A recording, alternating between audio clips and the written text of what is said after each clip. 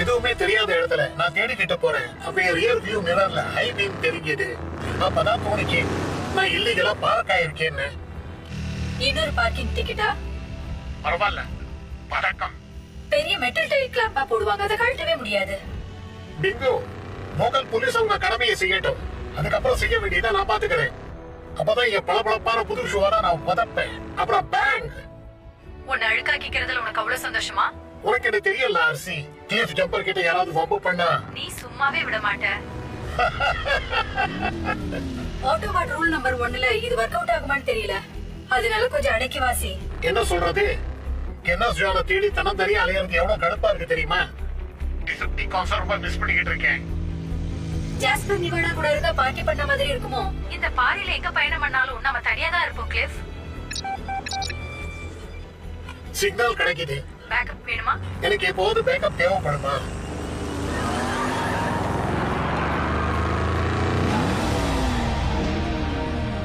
நான் இப்ப இங்க நிறைய எனர்ஜியான கண்டுபிடிச்சிருக்கேன்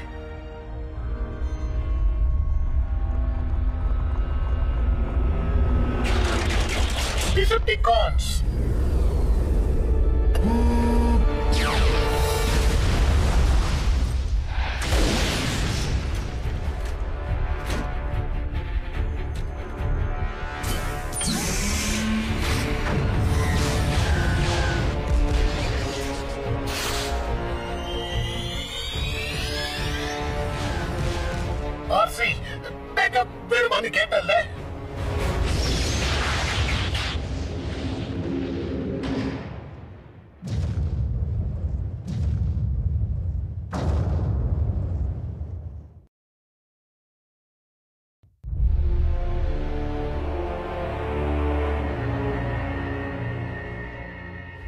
எச்சரிக்கையா இருங்க பாய்ஸ் இப்ப ஏன் திறமையை நான் காட்டவா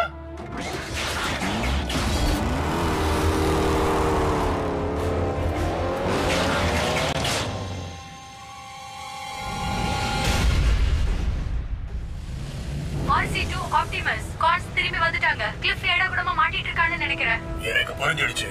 ராஜர் உன்கிட்ட கிளிஃப் ஜம்பருடைய கோஆர்டினேட்ஸ் இருக்கா? அவன் சிக்னல்ல நான் புடிச்சிட்டேன் ஆப்டிமஸ் ஆனா எங்க டீம் டைம் ஜோன்ல செதறி போயிருக்கு. ஆர்சி பல்க் பம்பிள் பி உடனே பேசுக திரும்ப வாங்க. உடனே கிரவுண்ட் பிரிட்ஜுக்கு ரெடி ஆகுங்க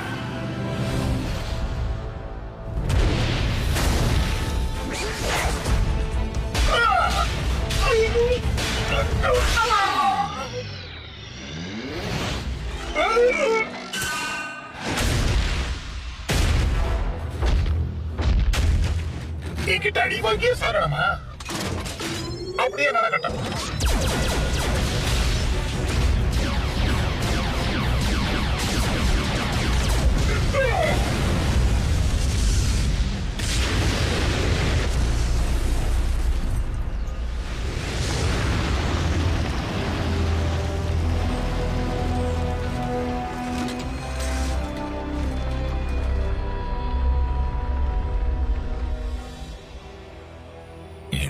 இந்த ஜான் இப்ப எனக்கு பிரயோஜனம் இல்லாதது.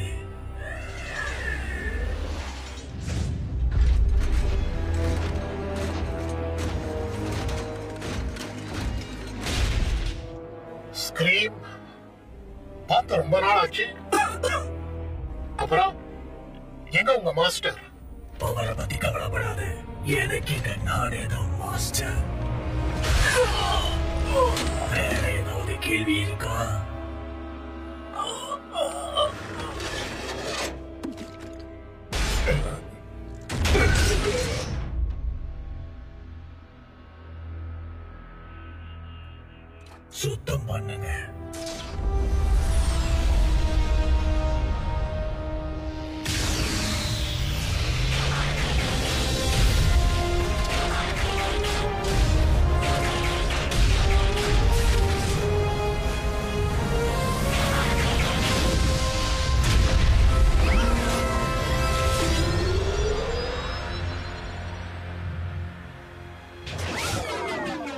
பயன்படுத்தப்படாத எனர்ஜான் டெபாசிட் அது மிச்சம் இருக்கா? மூணு வருஷத்துல இதுதான் டிசெப்டிகானுக்கான முதல் ஆக்டிவிட்டி நமக்கு தெரிஞ்சு அவங்க எனர்ஜான தேடிட்டு இருக்காங்கன்னா அவங்க திரும்பி வர தயாராகிக்கிட்டு இருக்காங்கன்னு அர்த்தம்.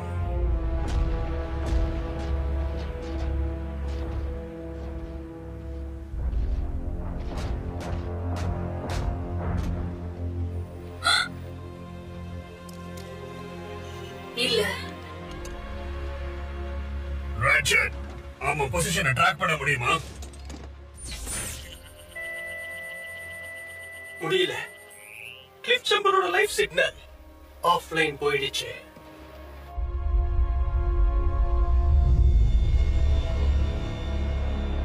சவுண்ட் வேவ் என்ன விஷயம்? ஜாஸ்பர் நிவாடா கூட இருந்தா பார்ட்டி பண்ண மாதிரி இருக்குமோ? இந்த பாரியில எங்க பயணம் பண்ணாலும் நம்ம தனியா தான் இருப்போம் கிளிஃப் ஆர்சின்னு ஒருத்தி இருக்கா இல்ல? ஒரே ஒரு ஆட்டோ பாட்டை மட்டும் எதுக்கு அழிக்கணும்? அவங்களுக்கு ஆச்சரியங்கள் கொடுக்கிற அளவுக்கு நமக்கு இப்ப திறமை இருக்கு. கிளிஃப் ஜம்பர் இழந்தது நமக்கு பெரிய கோபத்தை உண்டாக்கலாம். ஆனா அதை வச்சு நாம எந்த ஒரு முடிவுக்கும் வரக்கூடாது. இப்ப சுச்சுவேஷன்ல நாம இப்போ வெறும் அஞ்சு ஆட்டோபாட்ஸ் தான் பூமியில இருக்கிறோம். நமக்கு நாமே ஒரு உறுதிமொழி எடுத்துப்போம். இது சைபர்ட்ரானுடைய நினைவுக்காக. எந்த ஒரு கேலக்சிலையும் ஒரு பாதுகாப்பா தேடுற எந்த ஒரு ஆட்டோபாட்ஸுக்கும் மனித குலத்துக்காகவும் தான் இது. நமக்காக மறைஞ்சு போன மா வீரனுக்கானது இது. நம்ம சாதிச்சு காட்டுவோம். ஆர்சை. கிளிஃப் போயிட்டான். இங்க இருந்து வருத்தப்பட்டுக்கிட்டு இருந்தா அவன் திரும்பி வரமாட்டான். அதனால யாரும் தப்பா நினைக்காதீங்க. மனித குலத்தை பாதுகாக்கிற வேலையில நான் மறுபடியும் இறங்குறேன்.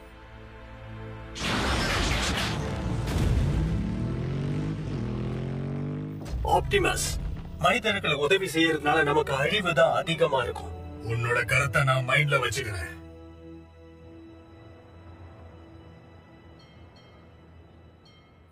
கேஓ டிரைவனுக்கு உங்களை வரவேற்கிறேன். இங்க எல்லாமே ருசியா இருக்கும். உங்க ஆர்டரை கொடுக்குறீங்களா? ரெண்டு சூப்பர் காம்போ ஒரு எக்ஸ்ட்ரா ஃப்ரைஸ் ஓகே எல்லாமே ரெண்டு ரெண்டா வேணுமா? வேற ஏதாவது? ஆமா. கொஞ்சம் அட்வைஸ் உங்களோடது மாதிரி ஒரு அற்புதமான வேலை கிடைக்க நாங்க என்ன பண்ணணும்? அந்த ரெண்டுங்கிறது நம்ம நினைக்கிற மாதிரி வேடிக்கையானது இல்ல இதெல்லாம் என்னோட நேரம். என்ன சொன்ன? ஐநூத்தி ஐம்பத்தி ஒன்பது சார் பார்சல் ரெடி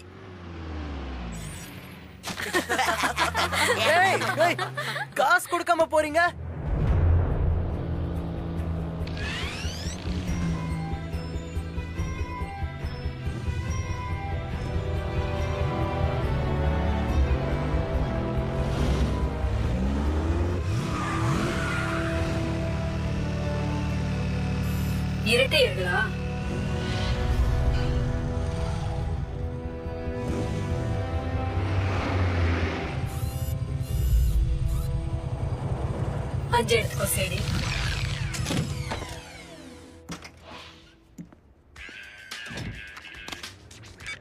ஹலோ அம்மா. இப்போதான் வேலை முடிஞ்சது. இல்ல நான் டான்ஸுக்கெல்லாம் எங்கேயும் போகலம்மா. அனுபவத்துல சொல்றேன் ரக்கை எப்பவும் நம்ம கிழிக்க கூடாது. கார்பெட் வாங்கினால் ஒழிய. ஜாக்கிரதை. சீரியஸாவா இது ஜாஸ் ஹாய் லவ் யூ நானும் ஐ லவ் யூமா வச்சிடுறேன். ஹலோ பேரழகி. என் வாழ்க்கை பூரா நீ எங்க இருந்த? ரொம்ப அழகா இருக்க. என்னோட எத்தனை மாச சம்பளத்தை நான் கொடுக்கணுமோ? ஆனா நிச்சயம் உன்ன மாதிரி ஒருத்தைய நான் எனக்காக சொந்தமாக்கிப்பேன். நீ என்ன உன் மோட்டார் சைக்கிள் கிட்டயா பேசிட்டு இருக்க? என்னோட மோட்டார் சைக்கிளா? இல்ல அதாவது ஆமா ஆமா இது என்னோடதுதான். ஆனா இல்ல நான் நான் இது கூடலாம் பேசிக்கிட்டு இல்ல அது உங்ககிட்ட பேசிட்டு இருக்கேன். ஆமா. எல்லாம் எப்படி போயிட்டு இருக்கு சியாரா?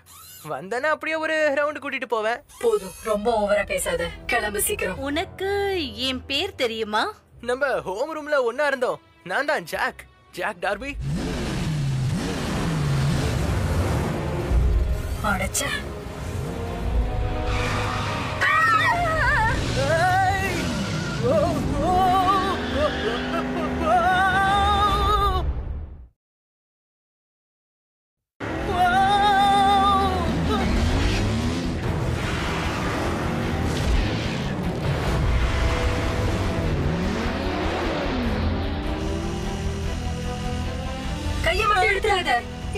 பேசுனது?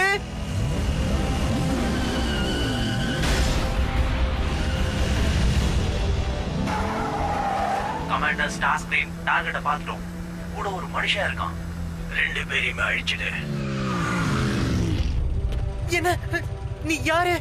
நான் யாருமே கிடையாது. என்ன பத்தி யாருக்கிட்டயாவது சொன்ன நான் தேடி வந்து அடிப்பேன்.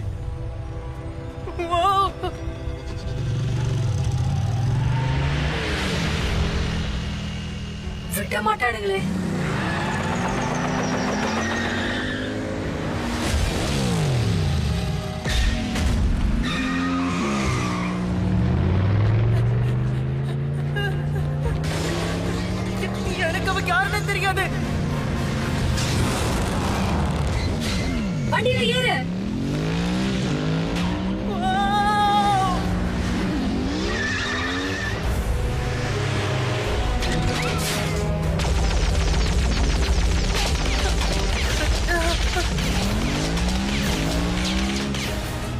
நம்மள பார்த்து ஷூட் பண்றாங்க.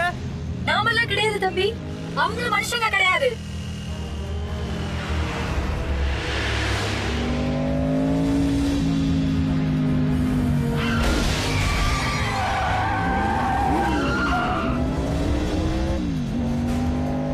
ஃப்ரெண்டா அது? ஆமா என் ஃப்ரெண்டு தான்.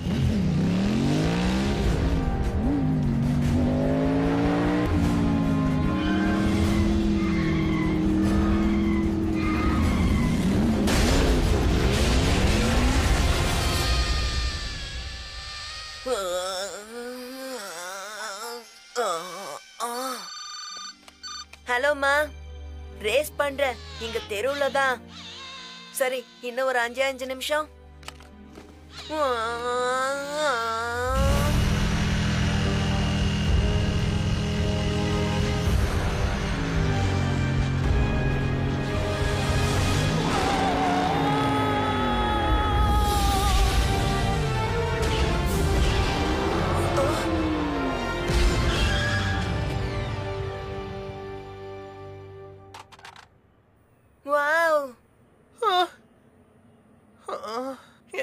ஒண்ணுமே புரியல.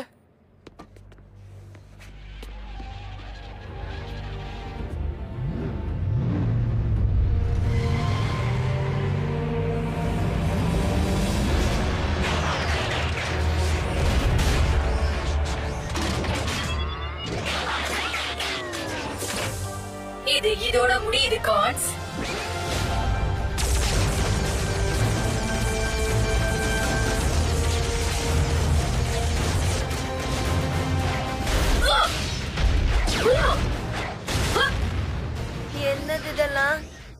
காரு ரோபோட்டா மாறுது இல்ல வேற மாதிரி கூட வச்சுக்கலாம் ஓ! ஓ! ஓ! இந்த ஆடி காசுக்காக!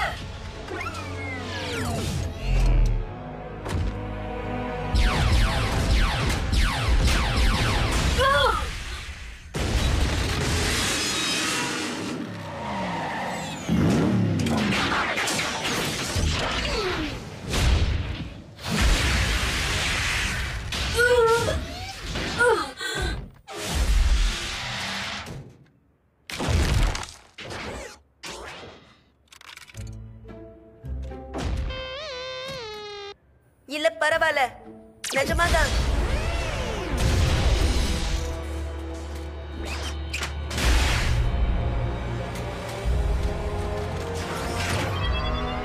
அவங்கள விடுங்க. ப்ளீஸ் ஏன் பேசுன?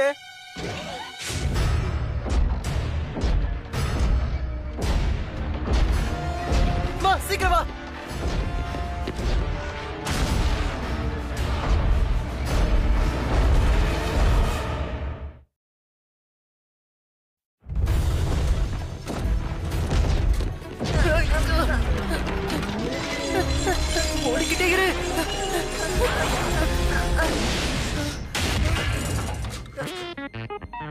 தேங்க்யூ திரும்பி பார்க்காத. நாம இப்ப பார்த்தோமே அது என்ன? எனக்கும் தெரியாது. கண்டுபிடிக்கவும் வழி கிடையாது.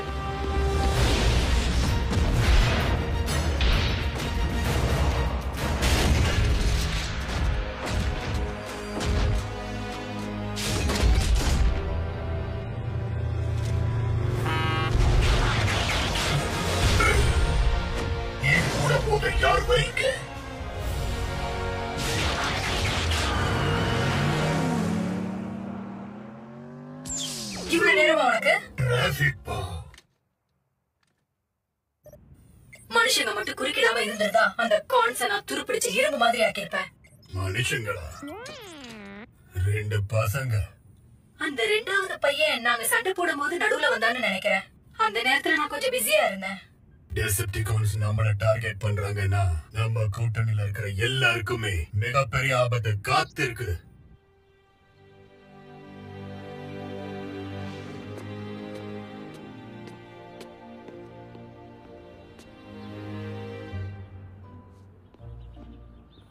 ராஃப். ஹே இந்த பாரு அந்த விஷயத்த நம்ம ரெண்டு பேருக்குள்ளேயே வச்சுக்கலாம் சரியா? யாருக்கும் தெரிய வேணாம். ஜாக். மறுபடியுமா? அது நம்மள உள்ள ஏற சொல்லுது. இல்ல என்ன மட்டும். அது எப்படி உனக்கு தெரியும்? அது சொல்லுச்சு. என்னது? உன்னோடது அங்க இருக்கு. இல்ல எனக்கு இதெல்லாம் ஒர்க் அவுட் ஆகும்னு தோணல. எப்படி இருக்க? ராஃப் இரு நில்லு.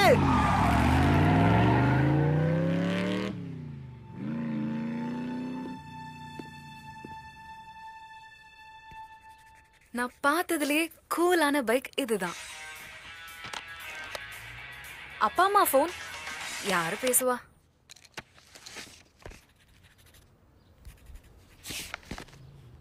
ஆ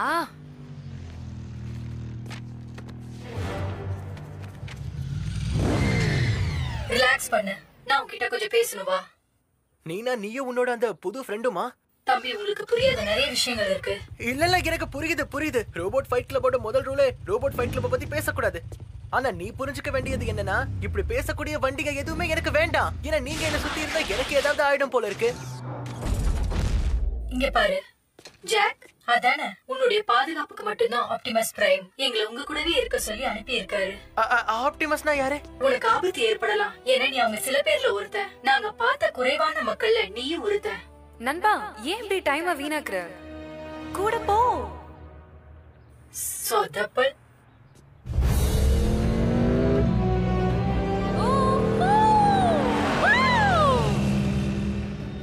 ஆமா இவளை எதுக்கு நம்ம தேவையில்லாம கூட்டிட்டு போறோம்? ரூல்ஸ்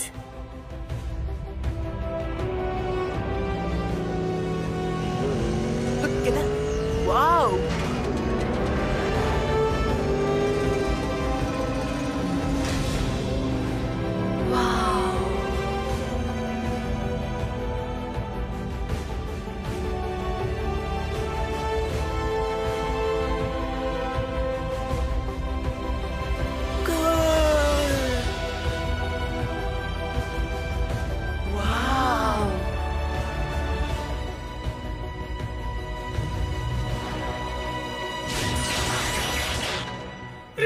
பேருன்னு சொன்ன?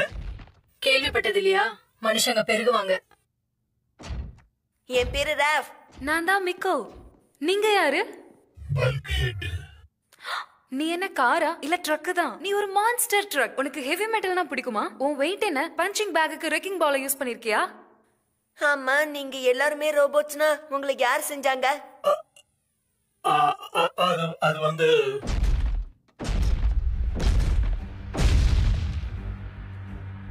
நாங்கெல்லாம் அட்டானமஸ் ரொபாட்டிக் ஆர்கானிசம் சைபர்ட்ரான் இருந்து வந்திருக்கோம். இது தவிர எங்களுக்கு ஆட்டோபாட்ஸ் இன்னொரு பேரும் இருக்கு. எதுக்கு இங்க வந்திருக்கீங்க? உங்க பிளானட்டை பாதுகாக்கிறதுக்காகத்தான். டெசப்டிகான்ஸ் கிட்ட இருந்து. நேத்து ராத்திரி ரெண்டு கோமாளிங்க நம்மள இடிக்க வந்தாங்களே. ஓகே. எதுக்கு அவங்க இங்க இருக்காங்க? நியாயமான கேள்விதான் ஜாக். சுருக்கமா சொல்லணும்னா அவங்க இங்க வந்ததுக்கு காரணம் எங்க பிளானட்ல வாழ முடியாம போயிடுச்சு. பல நூற்றாண்டுகளுக்கு முன்னால சிவில் வார் வந்துச்சு. சரி வார்னா எதுக்காக சண்டை போட்டீங்க? முதல் விஷயம் எங்க உலகத்தோட எனர்ஜான் சப்ளையை கண்ட்ரோல் பண்றதுக்காக. எல்லா ஆட்டோபாட்ஸ் டெசப்டிகான்ஸ் எல்லாருக்குமே ஃபியூவலோ லைட் பிளட்டோ அதுதான். வார் ரொம்பவே ஆக்ரோஷமா இருந்துச்சு. பல நூற்றாண்டுகள் தொடர்ந்துகிட்டே இருந்துச்சு. ஆரம்பத்துல நான் என் சகோதரன் நினைச்ச ஒருத்தனுக்கு துணையா நின்றுதான் சண்டை போட்டேன். ஆனா சண்டையில கொள்கைகள் எல்லாமே மாறி போச்சு அந்த டைம்ல தான் மெகாட்ரான் எந்த பக்கம்னு அவ முடிவு பண்ணா. ஹா ஏதாவது குவிஸ் காம்படிஷன் இருக்கா? சரி நீங்க சொல்ற மெகாட்ரான் இல்ல வேற யாரா இருந்தாலும் அவங்களுக்கும் எங்களுக்கும் என்ன சம்பந்தம்? மெகாட்ரான பத்தி ரொம்ப நாளாக இருக்கானா இல்லையான்னு எதுவுமே தெரியல. ஆனா நான் பயப்படுற மாதிரி அவன் வர்றது ஒருவேளை உறுதியானா? அது மிகப்பெரிய பேரழிவுக்கு ஆரம்ப சொல்லி போட்ட மாதிரி.